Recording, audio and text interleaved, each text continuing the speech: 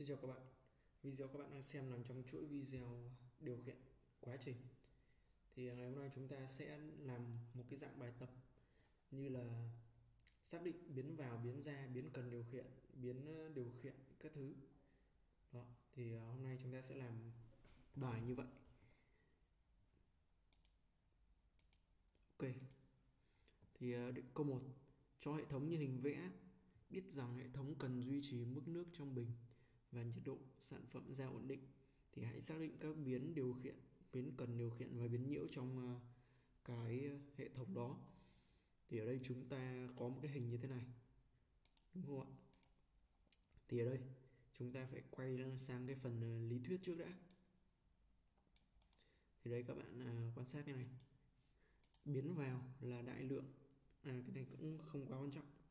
Chúng ta hãy xem biến chúng ta cần xác định biến điều khiển này, biến cần điều khiển và biến nhiễu. Thì ờ, ở đây biến điều khiển, ở đây là là biến quá trình có thể can thiệp trực tiếp từ bên ngoài. Qua nó tác động đến ờ, biến ra theo ý muốn. Có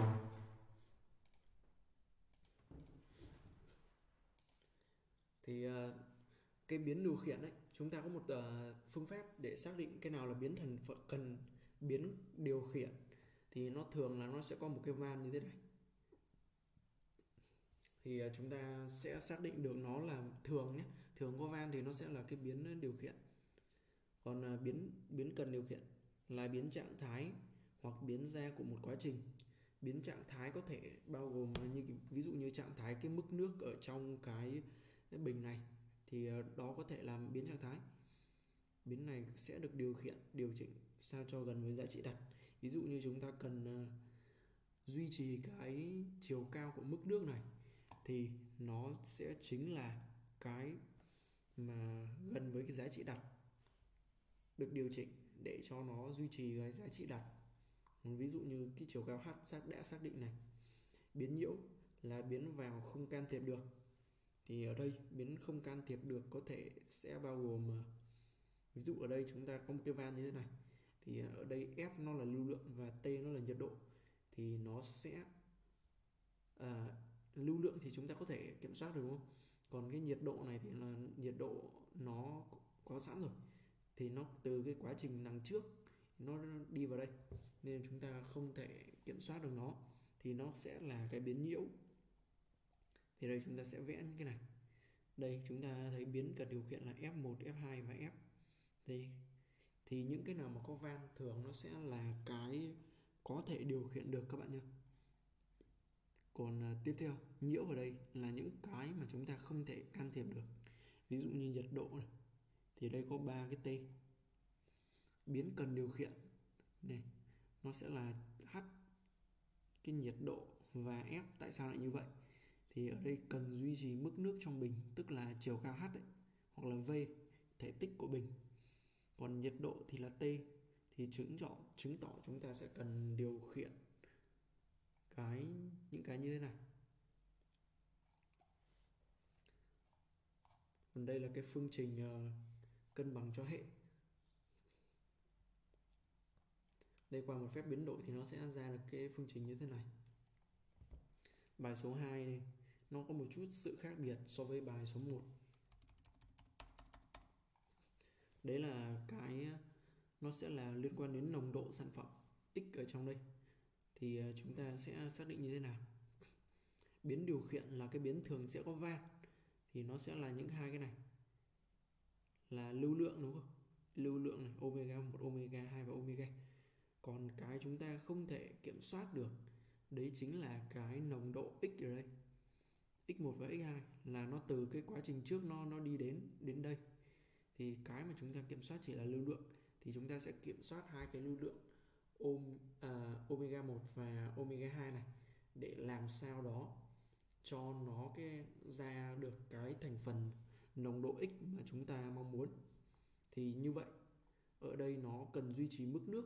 Mức nước thì à, sẽ là cần phải điều khiển cái chiều cao của mức nước cũng như là cần điều khiển uh, cái đầu ra và ở đây chúng ta cần à, điều khiển cả cái lưu lượng của đầu ra nữa. Ở đây à, cái lưu lượng này nó vừa là biến điều khiển vừa là biến cần điều khiển. Tại vì chúng ta cần cho ra một cái à, đây nồng độ sản phẩm đầu ra ổn định. Nhưng mà nghĩa là chúng ta khi mà trộn xong cái này ấy, thì chúng ta sẽ cần cái lưu lượng của cái đầu ra nó ổn định một chút để chúng ta có thể xử lý ở các ờ, cái quy trình và tiếp theo. Thì sẽ cần điều khiển cả cái omega này nữa. Thế nên nên là nó có hai vị trí ở như vậy. Tiếp theo, đây là một bài khá là khác. Ở đây là nó, đây là bình kín, vậy nên là cái thể tích nó sẽ là hằng số cái chúng ta cần điều khiển ở đây là duy trì nhiệt độ trong bình. Cái này chưa làm. Thì ở đây chúng ta có thể thấy được cần duy trì nhiệt độ ở trong bình thì cần duy trì nhiệt độ. Thì suy ra luôn được cái biến cần điều khiển. Biến cần điều khiển nhé. Nó sẽ là cái à, nhiệt độ này. Còn biến cái mà chúng ta có thể điều khiển được thì như là không có luôn. Tại vì ở đây nó không có một cái van nào cả. Thì ở đây chúng ta sẽ có nhiễu là F0 này T0 và cả F nữa là những thứ mà chúng ta không thể can thiệp được. Ok, tiếp. Đây bài tương tự so với cái bài ờ, bài câu trên, nhưng mà người ta thay cái omega. Thì thành f. F nó là lưu lượng, omega hình như là, không có ghi đây nhỉ. Hai cái nó hai cái nó khác nhau. Đây.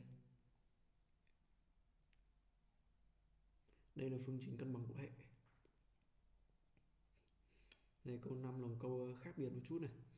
Cần duy trì mức nước và nhiệt độ trong bình chúng ta đọc đề bài cũng có thể thấy được cần duy trì mức nước thì biến ờ, cần điều kiện có thể là h hoặc là v. H là chiều cao hoặc v là thể tích. Và nhiệt độ, trong bình chứa ổn định nhiệt độ thì chứng tỏ biến cần điều khiển. Biến cần điều khiển này sẽ là v và t, đúng luôn. Chúng ta xem đây, thấy hai cái van ở đây thì chứng tỏ chúng ta có thể điều khiển ở hai vị trí. Chứng tỏ là đây F0 và F sẽ là biến cần à biến điều khiển. F0 và F đây, ok. Còn cái P0 P0 này và P và Q. Q là nhiệt lượng của cái quy trình ở đằng quy trình ngoài nhé nó tác động vào thì nó sẽ là nhiễu. Đây là cái mà ta cũng không có thể điều khiển được. Không can thiệp được vào nên nó sẽ là nhiễu. Cái nhiệt độ này cũng thế. Cái nhiệt độ ờ, đầu vào này. Nó cũng từ cái quy trình trước. Nên là chúng ta sẽ cho vào nhiễu. Đây là cái phương trình ờ, cân bằng. Câu 6 này. Cần duy trì mức nước trong bình ổn định. Thì ở đây cần duy trì mức nước thì nhìn đây biến cần điều khiển chúng ta có thể xác định được ngay. Đấy chính là F. Tại vì nó có một cái van đây. Cần duy trì mức nước thì suy ra được biến cần điều khiển sẽ là V và đây, hai cái mà chúng ta không thể can thiệp được là F0 tức là nó không có một cái van ở đây cả. Thì nó tự chạy dưới, từ cái quá trình trước thôi. Và F0 à P0 thì ờ, cái này cũng tương tự như thế. Cái câu này nó phức tạp hơn. Cần duy trì ờ, nhiệt độ của dòng TC2 ổn định. Đó, thì nó sẽ biến cần điều kiện nó sẽ là TC2 luôn cái TH2 này là biến ra không đo, điều khiển được. Cái mà chúng ta có thể điều khiển được ở đây, nhiệt độ thì nó sẽ luôn luôn là từ quá trình trước.